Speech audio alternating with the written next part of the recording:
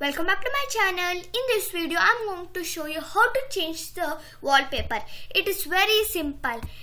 Uh, now press right click in your mouse. See view sort by refresh new display settings personalize. So all these are there. So i press personalize.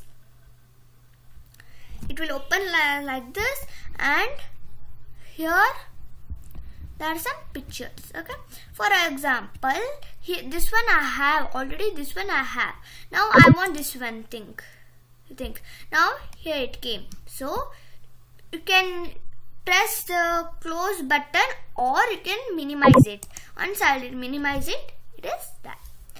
If you want to make it back that time you think you had close to this. So you don't worry if you you can't open. That time press this right mouse personalize and same color. And you can minimize or close. Okay? Afterwards okay close it. See? That's it. It is very very simple. Once again i'm going to show you the steps. First step. Right click anywhere? Personalize step 2 step 3 choose your picture. Step 4